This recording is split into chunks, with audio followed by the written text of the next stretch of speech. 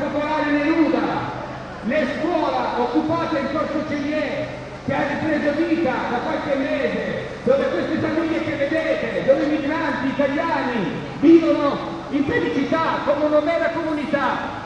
Oggi come famiglie dello spazio popolare Neruda, insieme a sfrattati, a persone qualunque, siamo, abbiamo deciso di venire qui per farci vedere per dimostrare che Torino non è solo una città vetrina,